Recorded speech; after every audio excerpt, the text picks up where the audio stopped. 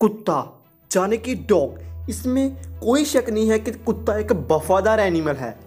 परंतु दोस्तों, आज हम आपके लिए लेकर आए हैं एक ऐसा वीडियो जिसमें हम आपको बताएँगे कुत्ते के कुछ ऐसे सुपर नेचुरल पावर्स के बारे में जो आपने शायद ही कहीं पर सुनी होंगी। तो दोस्त, कुत्ते के इन सुपर नेचुरल पावर्स के बारे में जानने के लिए हमें वीडियो में बढ़ना होगा आगे।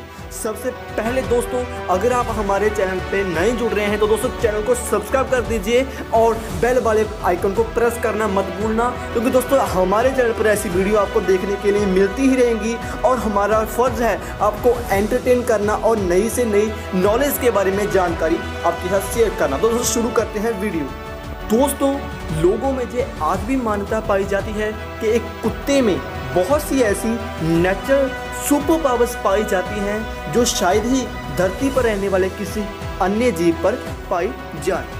और तो और दोस्तों साइंस भी इस बात को मानता है कि कुत्ते में ऐसी सुपर पावर्स हैं जो कुत्ते को धरती पर रहने वाले अन्य जीवों से एक अलग जानवर बनाते हैं। तो दोस्तों चलिए बढ़ते हैं आगे। तो दो, दोस्तों लोगों में जो मान्यता आज भी पाई जाती है कि कुत्ता जब भी रात को रोता है तो कुत्ते को कुछ ना कुछ ऐसी पॉजिटिव या फिर नेगेटिव एनर्जीज जिसको जिसको हम नहीं देख पाते, वो कुत्ते को दिखती हैं। इसलिए दोस्तों, कुत्ता रात को रोता है जय माना जाता है। पर दोस्तों, फिर भी अभी तक दोस्तों, हम इस नतीजे पर नहीं पहुँचे हैं कि कुत्ते को ऐसा क्या देखता है कि रात को वो रोने लग जाता है?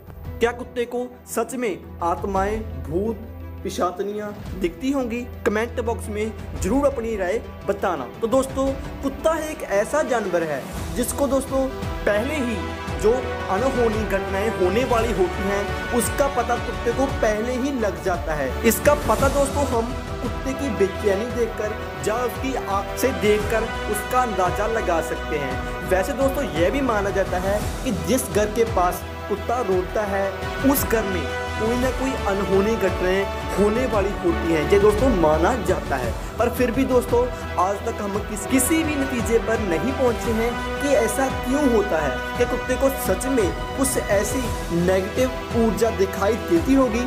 आपका क्या मानना है इसमें? अगर साइंस अपना दिमाग इस और लगाए तो दोस्तों बहुत से ऐसे रहस्यों के ऊपर से पर्दा उठ सकता है जो कुत्ते के साथ जुड़े हुए हैं। और दोस्तों, जिन रहस्यों को हमारी आँखों ने आज तक कभी नहीं देखा, वो हम देख पाएँगे। वैसे दोस्तों, कुत्ता एक बहुत ही अच्छा जानवर है। यह सभी जानवर के मुकाबले, सभी एनिमल्स के मुकाबले यह सबसे ज़्यादा वफादार माना जाता है। और ये यह भी हमें परमात्मा द्वारा भेजा गया एक अनमोल तोहफा है, जिसको दोस्तों, हमें कभी भी सताना या परेशान नहीं करना चाहिए। क्योंकि दोस्तों, कुत्तों के भी अपने अलग इमोशंस होते हैं, हमें उनके इमोशंस के साथ नहीं खेलना चाहिए।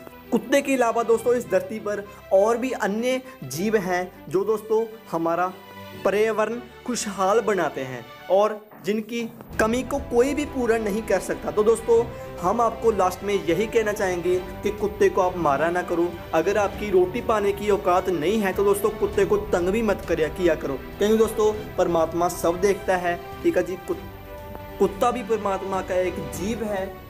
हमें इसको कभी भी सताना नहीं चाहिए। ओके दोस्तों थैंक यू बहुत बहुत धन्यवाद आपका कि आपने मेरी यह वीडियो देखी। और दोस्तों, इस वीडियो को अधिक से अधिक लाइक करें और शेयर करें और चैनल को सब्सक्राइब करें। मिल रहेंगे दोस्तों अगली वीडियो में। तब तक दोस्तों खुशहाल रहें, जिंदाबाद रहें।